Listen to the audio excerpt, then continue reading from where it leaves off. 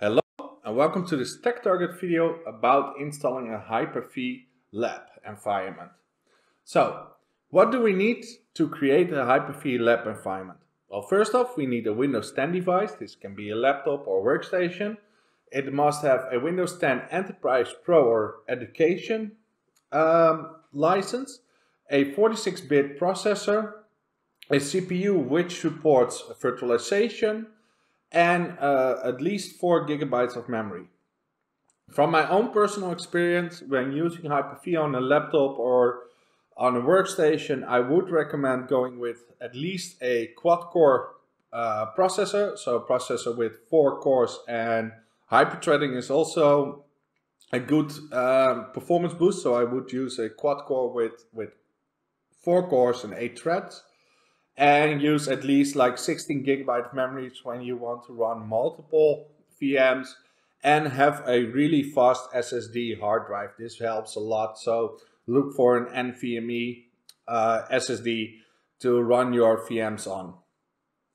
After that, so if your machine is set up, um, one thing that you that you might need to change is the uh, virtualization of your uh, processor. Sometimes it's turned off by default.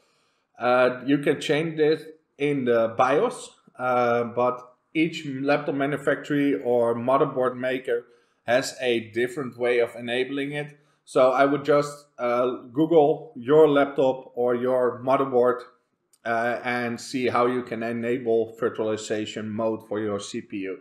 It's usually easily found somewhere around advanced settings CPU, there's usually something like enable virtualization or enable VTC.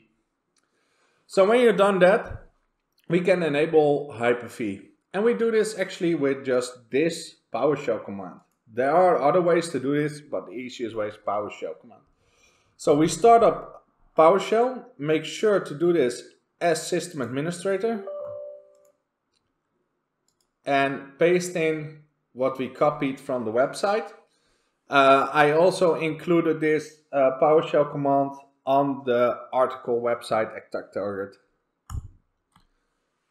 So now it will run and it will enable the Hyper-V uh, module on my uh, Windows 10 laptop. to say uh, yes, it will restart the computer. So we'll be right back. The laptop has now rebooted and now we can start using Hyper-V. So from the start menu, in the search uh, field, type in Hyper-V and there you will see the Hyper-V manager.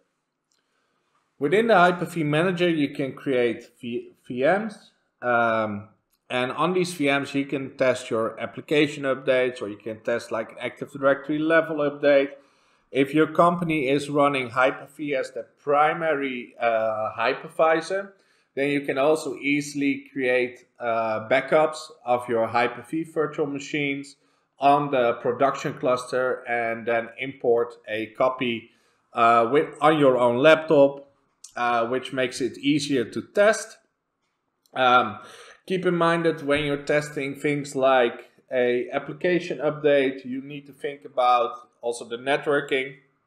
So within Hyper-V, we have a virtual switch manager. You can create external, internal, or private virtual switches. With an external, uh, the virtual machines will be uh, connected to the same network that your laptop is connected. So they will get an IP address from that same uh, DHCP server. They can access the internet. They can access everything on the network.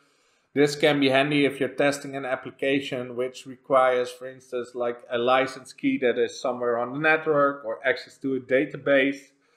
Uh, keep in mind then when you are updating that application uh, that if the application also updates the database uh, that yeah when you are using external switch it will update the database uh, what you can do in those situations maybe better is create a secondary virtual machine uh, and then create an internal or a private switch which allows them to talk to each other, the virtual machines, but not the complete network.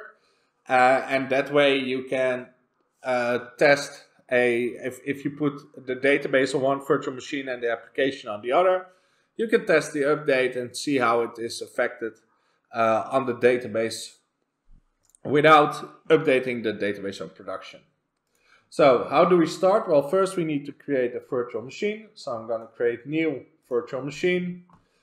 We can click next. We give the virtual machine a name. So I'm going to give it VM01. You can change the location where the virtual machine is saved. So for instance, if you have like a second SSD in your workstation or laptop, you can place them on those. That may be handy. In this device I'm working with, it has only one SSD. So I'm just going to leave it at the default. Here I have to choose the generation. So you can go for Gen 1 or Gen 2. Gen 2 is of course 2. It's, it's newer. It has support for uh, UEFI uh, boot, uh, for more uh, security message and measures and that kind of stuff, uh, and newer functions. Um, so the only difference is is which uh, which operating system are you choosing to install. But if you're using like Windows 2019 or Windows 10, you can just go with the generation 2 now we need to uh, choose how much uh, memory this machine can use. So let's give it 2 gigs of memory. The dynamic memory part is um, it can it will give uh, more or less memory to the machine uh, dynamically. Uh, so you set a limit like you can maximum go to that only if you need it.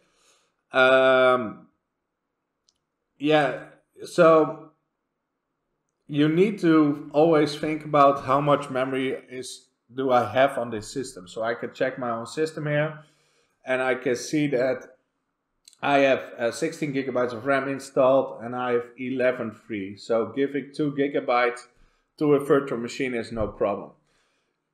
When you are giving more gigabytes than you have free on your system, then it will go to the swap file and it will make uh, your virtual machine is really slow. So don't do that. Here we choose, uh, at the network, we can choose our switch. I'm going to choose the default switch. There is a default switch created. It's an internal network.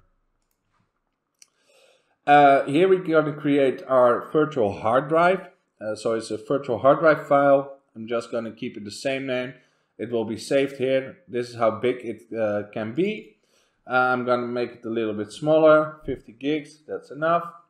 So for instance, when I uh, are importing a, a, virtual machine from a production cluster, I can then choose here that I want to use a virtual hard drive that already exists. Um, here we have to choose which um, installation media we're gonna choose. So I'm gonna choose uh, uh, to go with an ISO file. I got one in my downloads, it's a Windows 10. And next, it gives me an overview of what I'm to configure. And I click on finish. And the virtual machine is now created. So I can connect to it by pressing right mouse and then connect. And now I can start this virtual machine. I can press a key.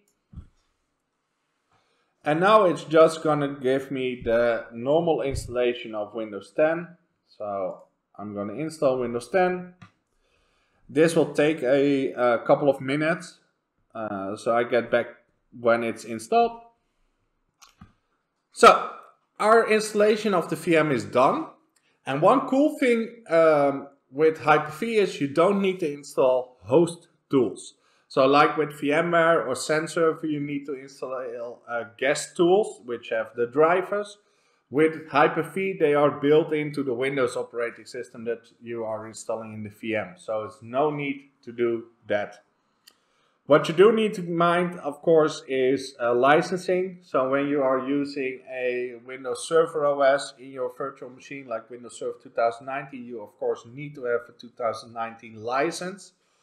Um, this can of course be a trial license for testing purposes if you're just doing a lab.